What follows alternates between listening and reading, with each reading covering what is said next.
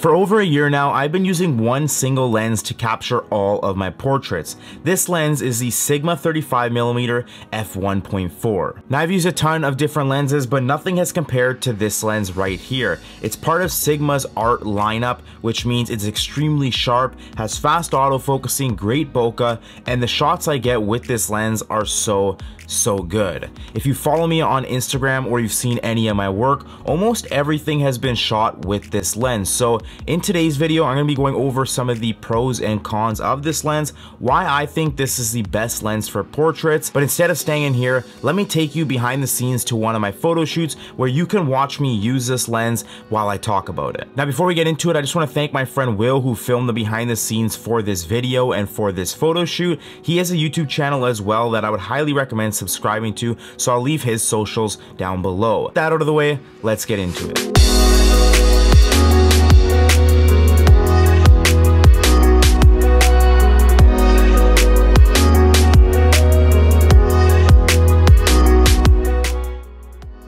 So with any review, let's talk about the pros and cons. Starting with the pros, price. This lens comes in at $899 at B&H, which I personally think is a great price for what you get. You can get this lens for your Sony, Canon, or Nikon. This lens has a high quality feeling, made of metal, and has a decent amount of weight to it. It doesn't feel like it's made out of plastic or some other cheap material. Now if we compare this to the 35mm f1.4 Canon's L, there's a pretty big price difference of $1,000. So that's why I threw price in the pros.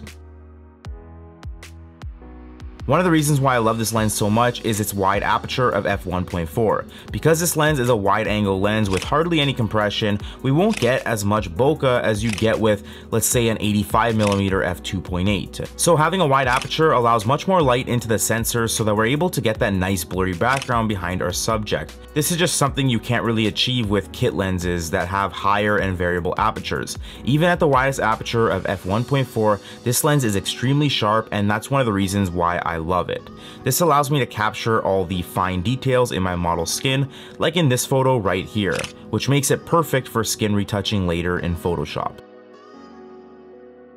Now as you can see from these photos here, the background is apparent, it's noticeable and not completely obliterated by bokeh or compression, and that's another reason why I love it. You can capture more of the background. This all comes down to personal taste and what style you want your portraits to have, but I'm not a huge fan of the extremely blurred backgrounds you get with lenses like an 85mm or 70-200. Not saying those lenses are not great for portraits, but I like my portraits to include the environment around my model, especially when the outfit or or prop matches the studio or surroundings perfectly. This is something you should consider if you're looking for a lens for your portraits. Do you want to have a lot of the background in your portraits or not? For the last Pro, this lens is not too wide. What I mean by this is that it's wide enough to capture some environment in your shot, but not too wide where it'll distort your model's face when shooting close-ups. That means I don't have to change lenses when I'm going from full body shots to close-ups. Want to do a Vogue pose? Uh, like, oh, like that thing? Yeah, we're doing it. Now let's move on to the cons. This lens does have some quirks that haven't really affected me, but I think you should know about them before you buy it. First one being is that this lens is not weather sealed. That being said, I have used this lens in the rain and snow, so I wouldn't worry too much unless you often shoot in harsh weather or put your lenses through rough conditions. This lens also has no image stabilization, so if you don't have any stabilization on your camera, then expect shaky footage when filming without a gimbal or stabilizer. But this doesn't only affect video. With no image stabilization on your camera or lens, even something as small as clicking the shutter button can mess up your shot. So make sure to keep that shutter speed pretty high. Lastly, this lens is heavy.